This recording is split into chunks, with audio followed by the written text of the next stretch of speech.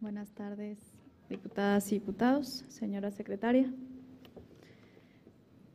Es de todos conocido que el 12 de julio del 2017,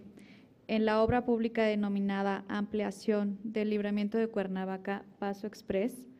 concretamente a la altura del kilómetro 93 de la autopista, de, la autopista México-Cuernavaca, que construyó la Secretaría de Comunicaciones y Transportes,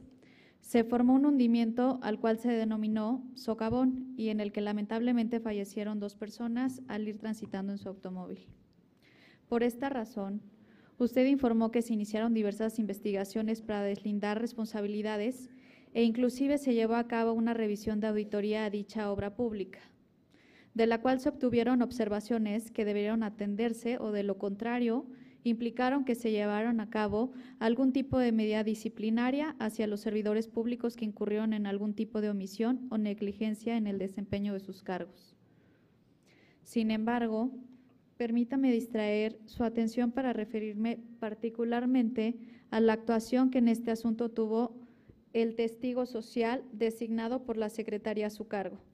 toda vez que, como lo sostiene la Comisión Nacional de Derechos Humanos, en su recomendación 34-2018 resulta ineludible la obligación de que el testimonio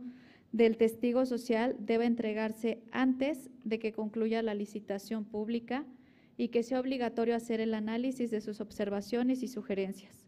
lo que no ocurrió en el presente caso, en que el testigo social entregó su testimonio siete días después de que se dio a conocer a la empresa ganadora de la licitación pública.